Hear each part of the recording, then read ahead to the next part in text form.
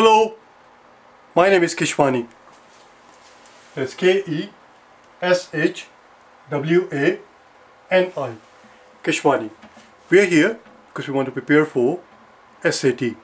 We have been solving SAT math problems out of this book here, the SAT Official Study Guide 2020. If you do not own this book already, purchase one immediately. You're going to need it. Make sure you buy 2020 edition and make sure the book is in front of you at all times when you're watching this video because I want you to do the problems with me. Don't just sit there passively. Uh, we're going to pick up today our story from page number 344. Turn to it. Page 344, the very first problem there, problem number 10. If after having watched this video you find it useful and you decide that you would like to work with me, send me an email at Keshwani Prep, that's P-R-E-P, Keshwani Prep at iCloud.com. Number 10. Number 10 we are told that 23% uh, saw movie at least once per week. So apparently a survey was done on the campus, on the campus, where we went around and asked people how often do you go to uh, movies and 23% of people, 23% of the students said we go to movie at least once a week. We are further told that in, in this particular survey, the margin of error, margin of error is 4%. In other words, it can go plus or minus 4% either way. Do you understand? It can go 4% either way rather. To say it can go plus and minus either way, 4% is redundant. Do you understand? That's what plus, that's what plus or minus means. So, which means, what this implies, what this tells us is that between, this is between, between. That's even worse. Between 23 minus 4 and 23 plus 4 percent of the people we we can say that between this person between this range people saw the movie at least once a week and that turns out to be 19 to 27 percent what we can say is that between 90 to 27 percent of the students saw movie at least once a week. And that's the that's the conclusion that we can come up with and simply our job now is to simply find a statement out, out of the four answer choices that comes closest to conveying this concept. And that's answer choice D. Answer choice D. Pay attention, answer choice C that they give you is wrong. Answer choice C is wrong because answer choice C says that the researcher is between 19 and 27% confident that the students go to movie at least once a week. It is not the confidence of the researchers that this survey measures. No survey does this. Surveys do not go around. Surveys are not conducted to see how confident researchers are. That's not that's not how it is read.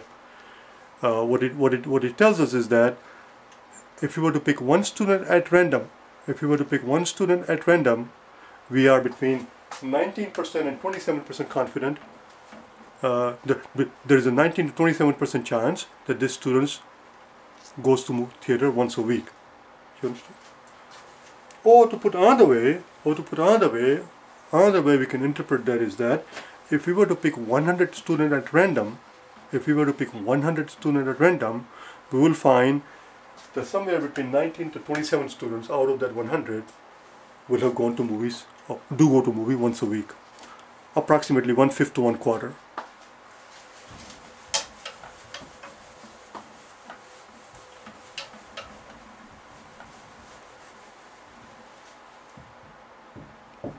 some sometimes some of these questions require require a lot of talking.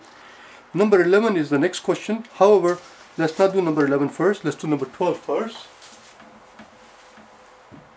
Because as I was doing it in my notes I didn't have enough room on the page to do number 11 so I did number 12 first at the bottom of the page here and then I did number 11 so let's do 12 first otherwise I'll forget it. If I go to number 11 now I might just go to the next page and I might forget the number 12 let's take a look at number 12 number 12 said that we're buying something which is right now 40% off it is on sale, it is 40% off, and we are further told that the sale price is $18.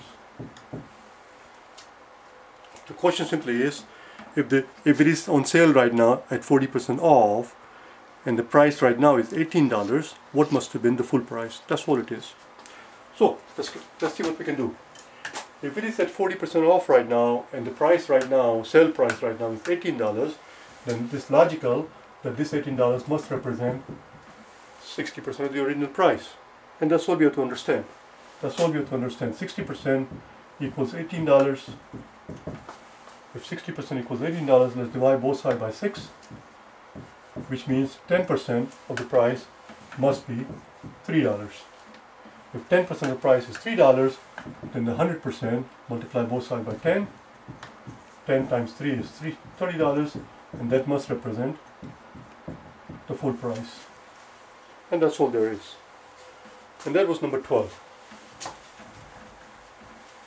That was number 12. Let's do number 11 now, which is a little bit more elaborate. It will take a little bit time.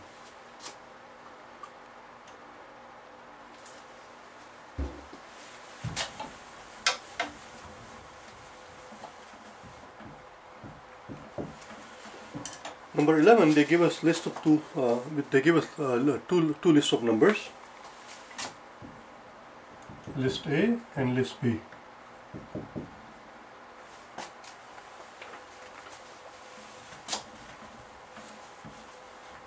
One, two, three, four, five, and six.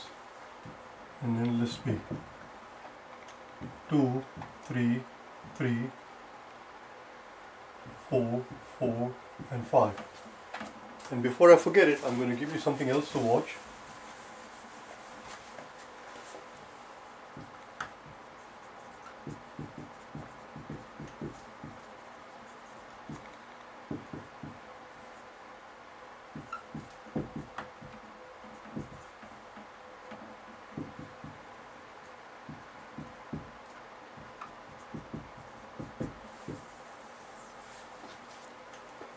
In this problem we are being asked to compare we're being asked to make certain some statement about their respective means and the standard deviation. And it is the mean that I want to talk about right now. You might and you might feel you might say to yourself well, that's silly. Why is he making a big everybody knows how to figure out the average.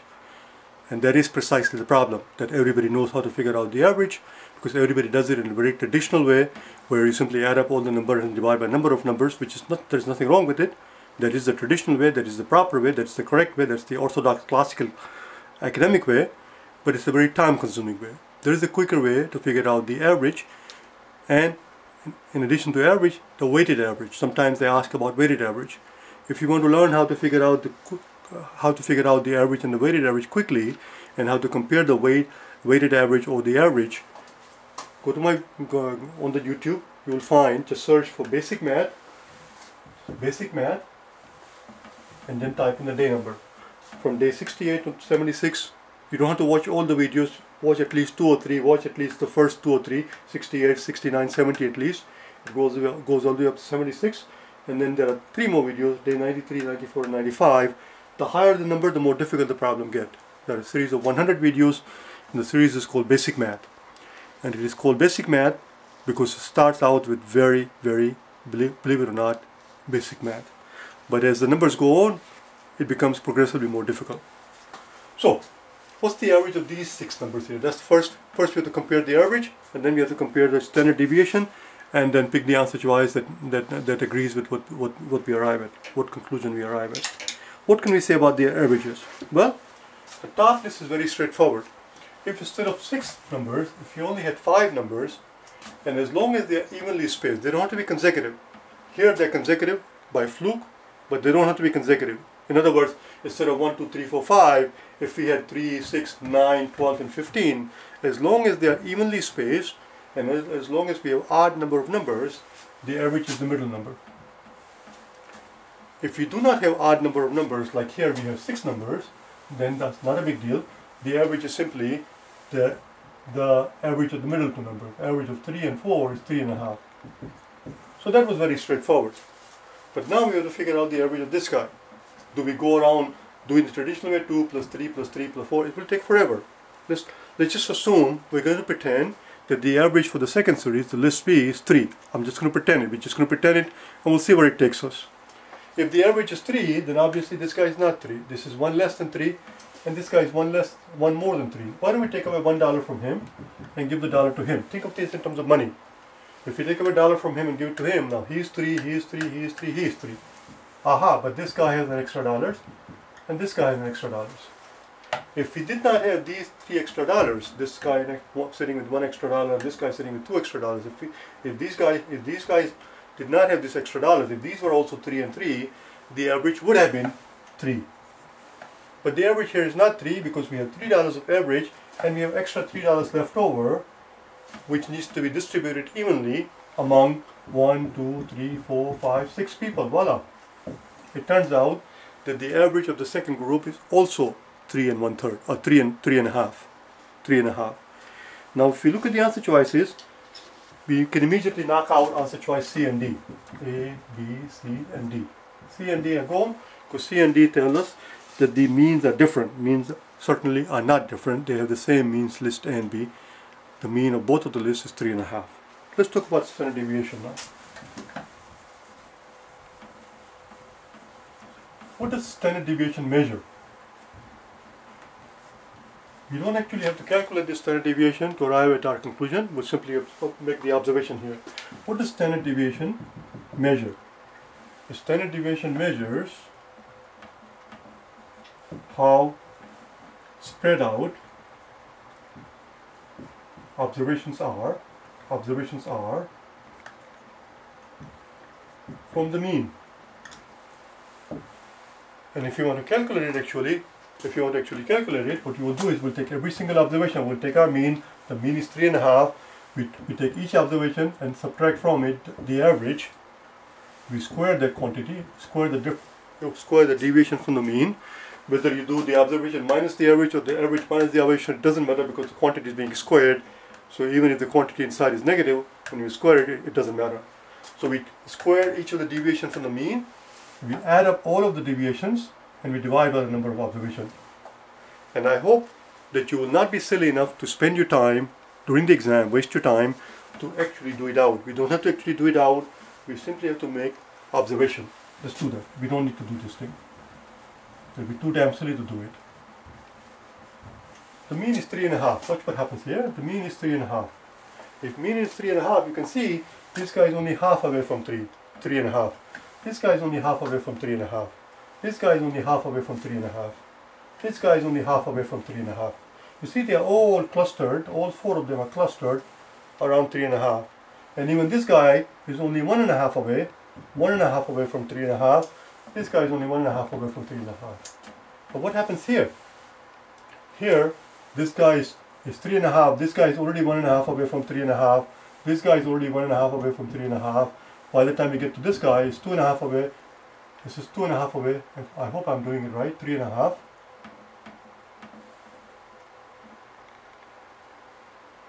Three and a half.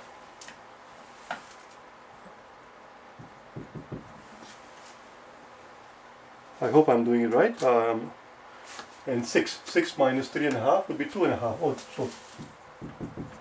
Anyway, what I'm trying to point out here is that, let, let me start again. three and a half is the average. This is half away. This is uh, this is one and a half away. This is one and a half away. This is two and a half away. There you go.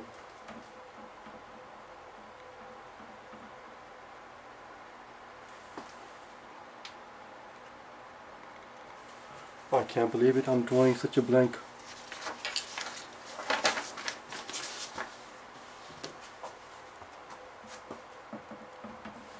Ah, I know what I did wrong, because I knew this was not making any sense.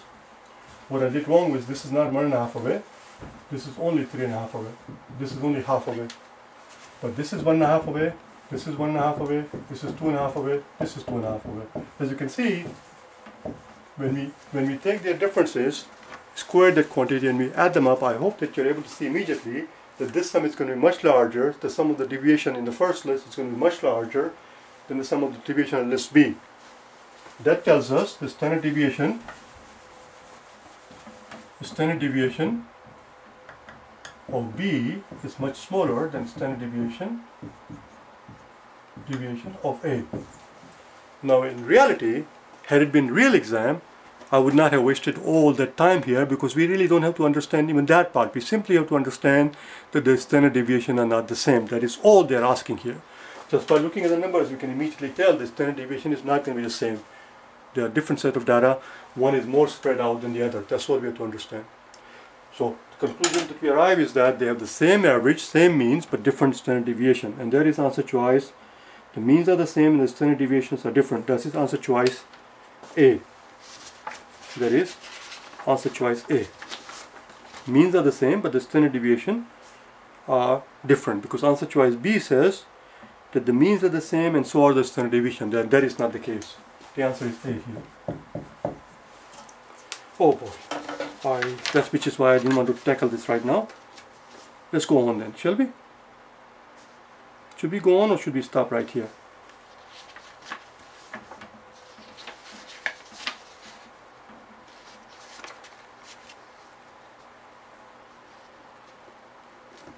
I'm just going to stop right here. It's, otherwise, it's going to be too long. I'll see you tomorrow, okay? Because this one, this for some reason ended up taking too long. I don't know why. I'll see you tomorrow, okay? Bye now.